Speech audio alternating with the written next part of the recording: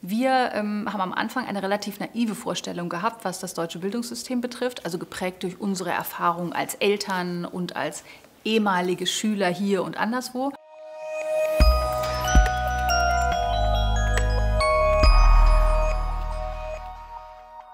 Und ähm, mussten dann feststellen, dass obwohl wir sehr viele Lehrer am Anfang befragt haben, ähm, deren Begeisterung groß war, die unsere, äh, natürlich unsere Vorstellung auch geprägt haben, unser Produkt auch mitgeprägt haben, aber uns vor allem unterstützt haben in dem, was wir uns vorgenommen haben, dass ähm, die äh, Begeisterung dann im System in Anführungsstrichen, das heißt die Entscheidungswege bei einzelnen Schulen, die Entscheidungswege auch im Kollegium, dass das eine, ein, ein komplett anderer Schuh ist. Und es hat viel länger gedauert, als wir uns das ursprünglich vorgenommen haben. Und in dieser Phase wo wir mit vielen Ministerien gesprochen haben, mit vielen Stiftungen gesprochen haben, mit allen, die sich irgendwie in diesem Umfeld bewegen und sich darum bemühen, das Bildungssystem auch nach, nach vorne zu bringen.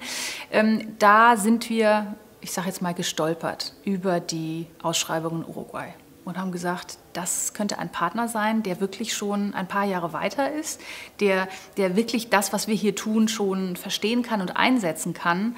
Und dann haben wir äh, die Entscheidung getroffen, es ins Spanische zu übersetzen und uns um diesen Tender zu bewerben.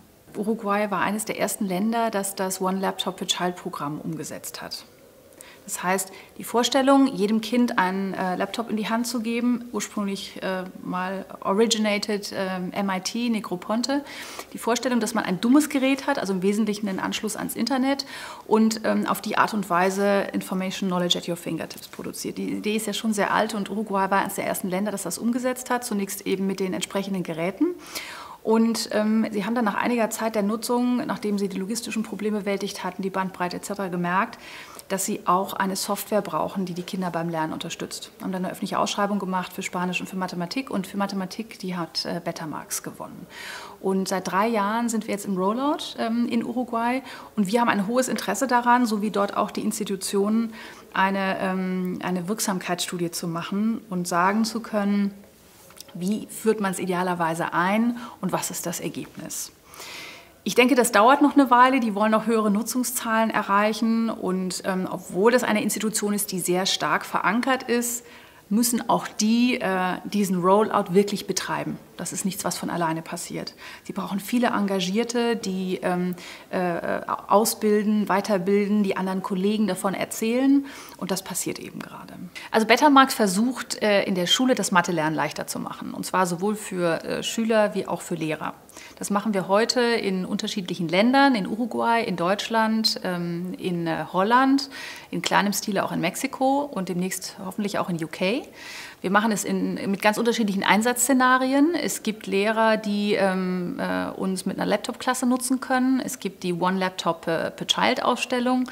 Ähm, es gibt es auch als ähm, äh, alleiniges Hausaufgabentool. Und wir bedienen unterschiedliche technische Voraussetzungen. Ähm, eben Schulen, die äh, äh, eine einfache Anbindung haben, ähm, wo es zu Hause genutzt wird, offline, online und äh, natürlich auch für Schulen, die das Ganze mit Bring Your Own Device abwickeln. Ähm, am Anfang haben wir sehr viel über das didaktische Konzept diskutiert und haben uns ähm, äh, ähm, auch mit, mit Experten unterhalten, mit, mit Hirnforschern unterhalten, mit anderen Mathematikexperten unterhalten ähm, um uns ein Bild darüber zu schaffen, ob wir ähm, äh, einen, einen, ruhigen Auftritt, diesen, den wir jetzt haben, wählen wollen oder ob wir, äh, ich sag mal, platt gesprochen heißt das ja Clicky Bunti, also Gamification und viele, neben, viele andere Formate integrieren wollen. Wir haben uns dann bewusst für, ähm, diese, ähm, für das heute sehr nüchterne Arbeitsblatt entschieden wir haben ähm, äh, lange Diskussionen zwischen den Lehrern gehabt, ähm, wie viele Fehler sollte man machen können, wie ist die Reaktion auf diese Fehler nicht ähm, in dem mathematischen Kommentar, sondern auch äh, sprechen wir Fehler aus, sagen wir Nein oder äh, versuchen wir nur ermunternd zu sein, Fehler gibt es nicht. Da können Pädagogen auch ähm, sehr lange drüber diskutieren.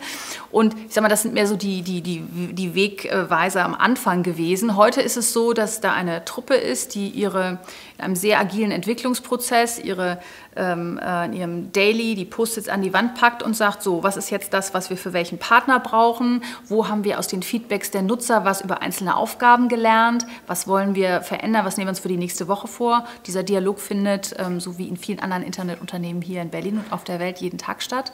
Und dadurch kriegen wir fast jeden Tag ähm, neue Dinge online und ähm, lernen auch immer sehr schnell, was funktioniert bei den Nutzern, was, äh, was, was ist für unsere Partner äh, ähm, äh, nachvollziehbar und entwickeln Bettermarks eben von Tag zu Tag weiter.